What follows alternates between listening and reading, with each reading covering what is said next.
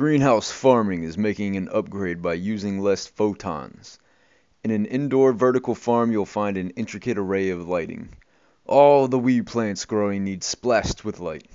They absorb all that light and so there are lots of lights in there consuming energy. Each crop shelf has to have its own light source in order for plants to grow sufficient quantities. In an effort to increase energy efficiency, researchers at Purdue University are currently studying the use of red and blue lights on plants.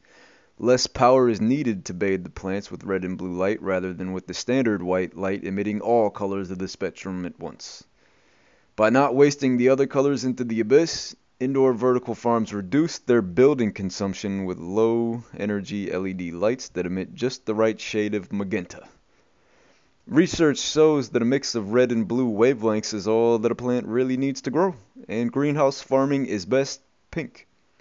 In the whole spectrum of ROYGBV, the O, Y, G, and V aren't a substantial necessity for plant growth, just the smooth R&B. Not only is a pink lighting arrangement reducing the amount of power for the lights, the LED lights are cooler, which also reduces the cooling load. Win-win.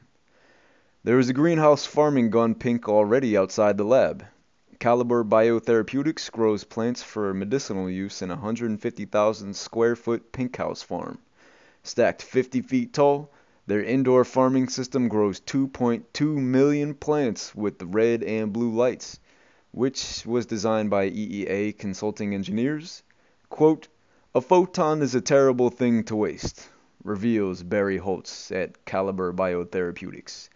Quote, so we've developed these lights to correctly match the photosynthesis needs of our plants. We get almost 20% faster growth rate and save a lot of energy. End quote.